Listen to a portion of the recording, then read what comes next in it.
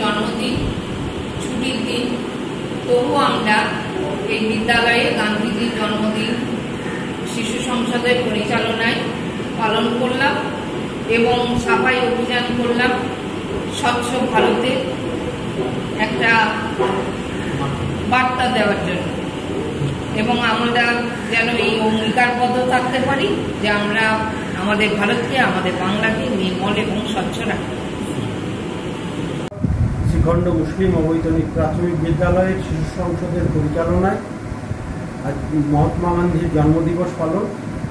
এই পালনের মূল উদ্দেশ্য স্বচ্ছতা এবং সম্প্রীতির বার্তা যাতে আমরা এলাকায় পৌঁছে দিতে পারি। তার জন্যই আমাদের বিদ্যালয়ের পক্ষ থেকে আজকে সাফাই অভিযান করা হলো, স্কুলের আশেপাশে এবং সাংস্কৃতিক অনুষ্ঠান করা হলো। শান্তি, সম্প্রীতি এবং সৌহার্দ্যের বাতাবরণ যাতে তৈরি থাকে, এই জন্যই আমাদের যদি এখনও আমাদের স্টিং নিউজ চ্যানেলটি সাবস্ক্রাইব না করে থাকেন, তাহলে এক্ষুনি সাবস্ক্রাইব করুন আর বেল আইকনটি ক্লিক করুন। পেয়ে যান সব খবরের দ্রুত ভিডিও আপডেট